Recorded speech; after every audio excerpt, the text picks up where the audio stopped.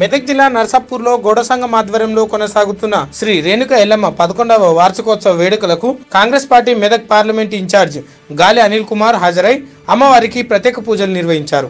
ఈ సందర్భంగా ఆలయ పూజారులు గౌడ సంఘం నాయకులు ఆయనకు ఘన స్వాగతం పలికారు. ఈ సందర్భంగా అనిల్ కుమార్ మాట్లాడుతూ ప్రతి ఒక్కరూ దైవభక్తిని అలవర్చుకోవాలని ఆయన అన్నారు.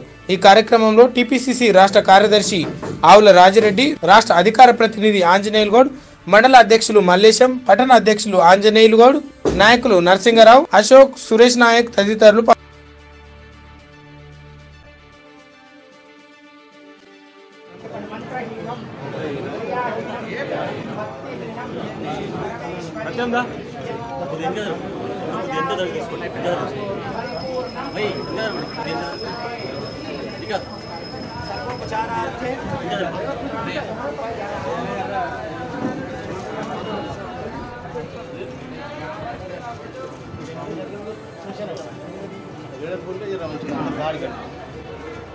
పా- నమస్కారం నమస్కారం నమస్కారం రేణుకా ఎల్లమ్మ మాత